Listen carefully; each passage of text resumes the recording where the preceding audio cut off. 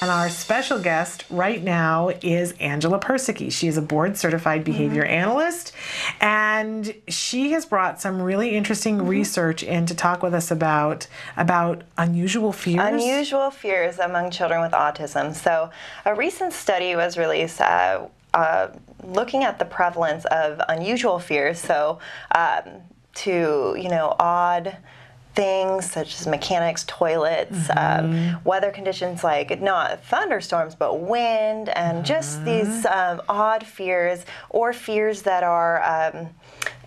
Uh, exaggerated yeah. in some sense. So uh, maybe the child has a fear of dogs, but it's so exaggerated the child won't even go outside. Yeah. Uh, so that's what they're talking about, unusual fears. And they found, um, which is something that we've talked about for a long time. Oh, children with autism have these unusual fears, but no one's actually really looked at the prevalence rates. Okay. And it's about 40% wow. of children uh, on the autism spectrum have these unusual fears.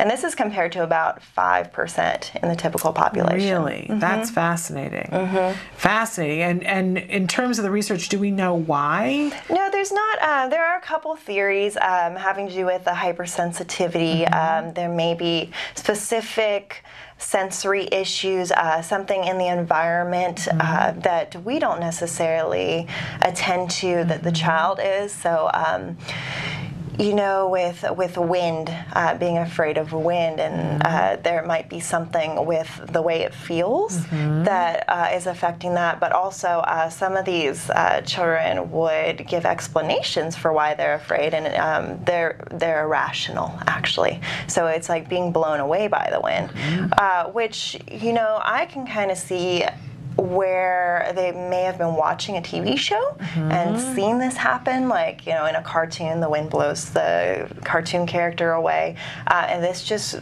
uh, becomes an irrational fear, and mm-hmm. the child starts perseverating on it, right. just like in any other situation. And uh, this is just m- way more common in children with autism than the typical population. Well, we certainly are in the 40% mm-hmm. um, in my house. And, and I'm interested to know, I don't know what how big of a scope the research uh, covers, but I'm interested to know from other parents, and maybe if people want to write in if their children have this, if they cycle in and out of it.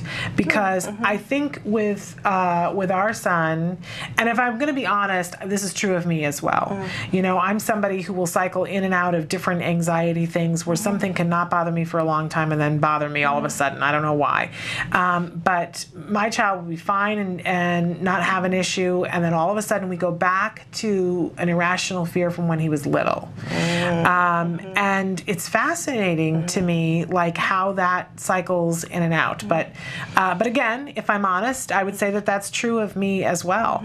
Um, but I, so did they? Did they, they look at? They did not address that. They um, were specifically looking at the the types of fears and uh, the percentage of children. They they uh, had reports from over a thousand children. Wow, um, it's a pretty big study. Yeah, and it's a huge study, and and showing that about forty percent have these uh, unusual fears, but also uh, if you include just typical fears, mm-hmm. so of um, you know specific animals, snakes, spiders, bugs, right. um, something like that, it goes to over 50%. So, um, okay. but unusual fears alone are just the 40%. 40%. But they didn't look at uh, cycling back around. Uh, okay. They were just mentioning it within this uh, sample. Right. These were the uh, the prevalence rates? Well, I, I know that you work with the Autism Research mm-hmm. Group and that you, you frequently ask mm-hmm. uh, your, you know, uh, the parents, mm-hmm. that's what I'm trying yep. to say, the parents that, uh, that you yep. serve, mm-hmm. what kinds of things would you like more research mm-hmm. on? And I know a lot of people write in about anxiety, and mm-hmm. uh, I'm just checking to see um, what somebody has written here. Um, but, uh, okay, uh, it's, one of the things that I would be interested in knowing, mm-hmm.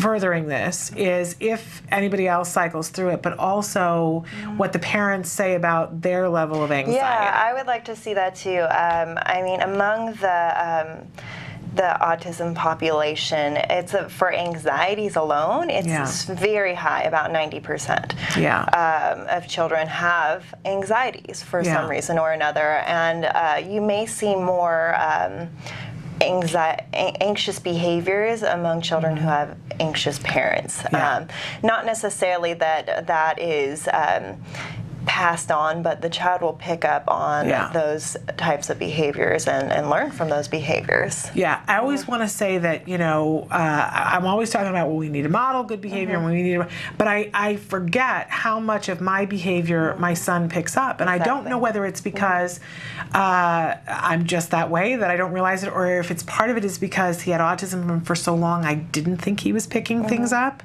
Like I think most parents, uh, I am somebody who is very capable of having a very bad potty mouth, and um, and I think that most parents at a certain point when their child is acquiring language stop that. Yeah. And we, I, my husband doesn't have a potty mouth. I do. Uh, I didn't, and so one day when my son was acquiring language, when he said words, and I went, "Oh my goodness, I'm listening," um, Yeah. you know, and I, I, I've been aware in recent years of trying to make sure how I language certain things around my child so that he doesn't pick up when I talk about anxiety and things like that. Um, and but just the other day he said uh, we were uh, doing something outside and it was very hot. It's been very hot here until the last couple of days. And he said oh i think i'm having a hot flash. And i said hmm, where has he gotten this conversation where, where has he picked up these terms? How has this happened? Um, so of course he's picking up things from me. Yeah, and even if um, I mean, and this is probably a misconception um, among a lot of people with children um, on the spectrum is that they don't understand a lot, but maybe the the child isn't picking up on a lot of the social cues or um, um, language that you use. But there are other behaviors your child will will pick up on, Yeah. and uh, it's not that the child is just in his own world and do, is oblivious to everything. You'll be amazed at what Yeah. children pick up, and uh, even a child who has no language will pick up Yeah. on your own behaviors and Yeah. learn those behaviors from you. So, uh, you know, if you are uh, more anxious in situations, Mm-hmm. especially when we were talking about going to play dates, if you're going Yeah. to a play date and you're very anxious, and uh, the child will will see that, Yeah. will learn that. And I don't think it's just our kids. I mean, having been a, a teacher and and worked in the public school system, ask any teacher Mm-hmm. Oh, yeah. about what happens the the couple of days before a lengthy vacation, Mm-hmm. or what happens around different times of the year, like tax time when the parents are more stressed. Mm-hmm. It vibrates in the children. You can feel it. You can touch it. It vibrates in them. Um, so I think they're all little magnets that Yeah. they pick up things. Oh, definitely. But, but including our kids on the spectrum. Uh-huh. and um, the fears, um, though, obviously, um, these are intensified in some way, and Mm-hmm. and that's what they're getting at is that this is something we we probably knew for a very long time, but no research has really done a large scale study Right. to to support um, these prevalence rates. Um, one of the, the one of their findings is that um, fear of toilets was one of the the highest fears. Hmm. Which could easily be why it takes, you know, a little bit longer time for toileting to happen. That's what I was thinking um, when reading this. They didn't they didn't allude to that in the study, but I was just thinking with all of our children who, um, you know, it may be really difficult to even get the kid into the bathroom. Yeah. Um, this fear of toilets, and it could um, it could be many factors having to do with, um, you know, the, the sitting on a cold, right? cold Right? toilet, or um, to the sound that the flush makes. You know, Right. anything. It's a Or lot. the fact that stuff disappears. Exactly. It's like a magic trick. So, It's yeah. a portal to heaven knows what, you know. Stuff Yeah. goes away and it doesn't come back. Exactly. There are a lot of factors involved um, that make these fears. They maybe uh, we would consider them irrational, but there there, there is something in the child's environment that is facilitating this fear response. Yeah, and even in the irrationality, I think usually if it's if somebody can um, voice it, there's some element of rational to it. One of the things that we're dealing with right now. My son has always been fascinated with drains, always. Mm-hmm. Mm-hmm. There's something about the whole thing with drains, even when he was little, little, thought they were, you know, would perseverate on them.